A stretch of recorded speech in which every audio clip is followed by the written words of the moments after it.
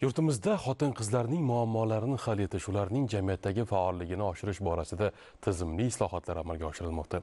Xususan bu yo'nalishda ijtimoiy daftarlarning tashkil etilganligi va bu asosda ayollarga ko'mak ko'rsatilayotganligi natijasida minglab opa singillarimizning turmush sharoiti yaxshilanmoqda. Farg'onadan tayyorlangan lavhamizda shu haqda so'z boradi.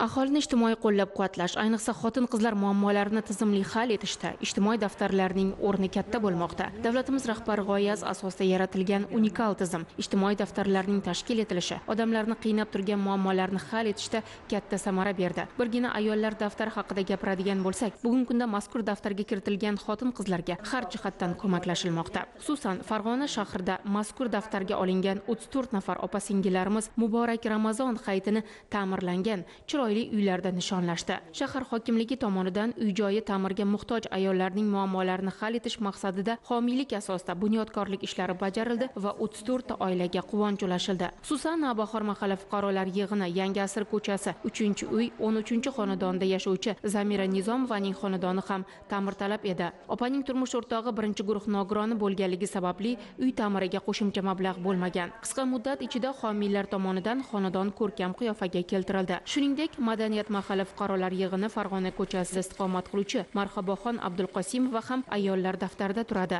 Ayolning boquvchisi yo'q ikki nafar voyaga yetmagan farzandlari bor. Homiylar ko'magida opaning xonadoni ta'mirlab berildi. Joydan mahalla fuqarolar yig'ini jambil ko'chasida to'rtinchi uyda yashovchi dilfuza sobirovaning turmush o'rtog'i vafot etganligi sababli ikki nafar voyaga yetmagan farzandlari bilan ota uyiga qaytgan. Qatlov jarayonlarida kelib ko'rganimda o'sha yog'ingarchilik bo'lgan vaqtlarda uylarini tomlaridan suvlar sizib oqishi oila xavotirda o'tirishi ma'lum bo'lgan. Mana hozir homiylar jalb qilinib oilaga uy joylari to'liq ta'mirlab berildi. Galdagi manzilda ham bir oilaga bir olam shodlik ulashildi. Yangisoy mahalla fuqarolar yig'ini usmon nosir ko'chasi ikkinchi uy yettinchi xonadonda yashovchi barno o'rinbayevaning turmush o'rtog'i birinchi guruh nogironi. Barno opa dori darmon va ro'zg'ordan orttirib uyini ta'mirlay olmagan. Man haqiqatda bundan judayam xursandman. Chunki bilasizmi xo'jayinimni dori darmoni farzandlarim o'zim ham qandli diabetni ikkinchi turiman sharoitim yetmasdi. Shu uyga kelin olaman deb murojaat qilgandim.